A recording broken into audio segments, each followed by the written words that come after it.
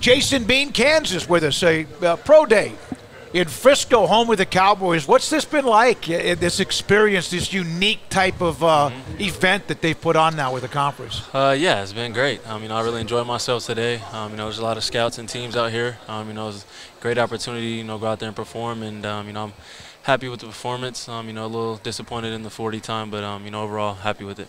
What was your 40 time? Four, five, six.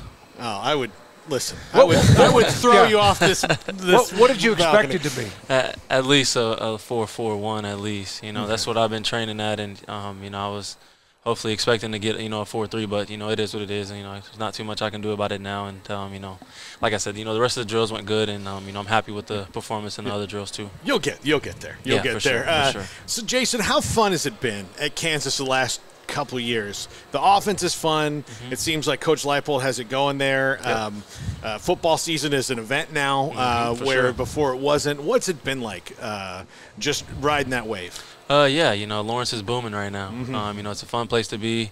Um, you know, like I said, like you said, you know, Coach Leipold has a place, you know, jumping and and um, you know, I think he's going to continue to, you know, just elevate the program. Um, you know, the players are excited. Um, you know, the fans are excited, and um, you know, it's it's a really good time to be in Lawrence right now. Man, you were an incredible story. Uh, I mean, just the the, the way you stepped in uh, when Jalon Daniels goes down. Now, I know you had plenty of experience prior to that. You, you're not far from here. Like, for you grew up in Mansfield, right? So you're Mm-hmm. Not far from home, Yeah. and um, found your way to Kansas and just thrown into action probably much more than you expected last season. Just how ready were you for that? Obviously, pretty ready, but just what was that experience like to play as much as you did, and and uh, just what did you make of it all? Uh, yeah, you know, I, I definitely, you know, going into the season wasn't expecting to play as much as I did, um, you know, but I was definitely thankful for, you know, how much I did play. Um, you know, I got a lot of good film out.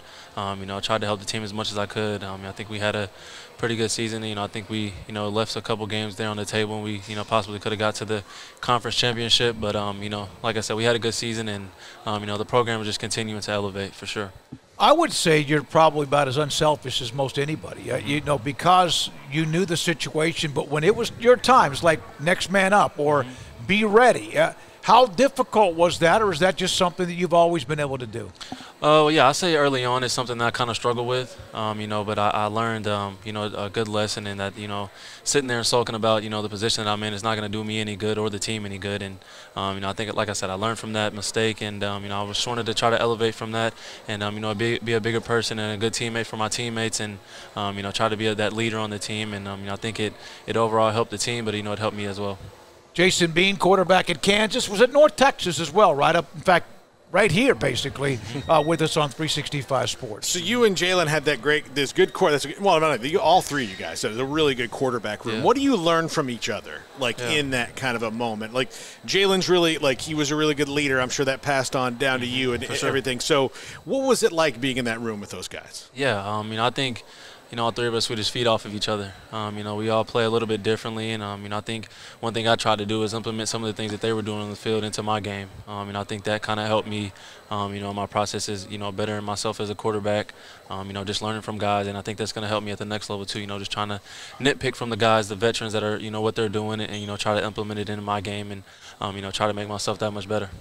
uh, your OC Andy Kotelnicki's moved on to a, another job, but can you just speak to the offense, the creativity, the the fun of playing in the offense, and, and just um, how do you think that Kansas will continue to, to, to keep moving on um, with Coach Leipold and, and, and the changes made? Who one of the guys is we covered in Jeff Grimes, now the OC from Baylor, who Yeah. we, we followed. But uh, what do you expect now um, post Andy Kotelnicki? Uh, yeah, you know, I, I expect big numbers from the offense next year. I mean, they got a lot of guys coming back. Um, you know, a good receiver in core. You know, obviously Jalon Daniels.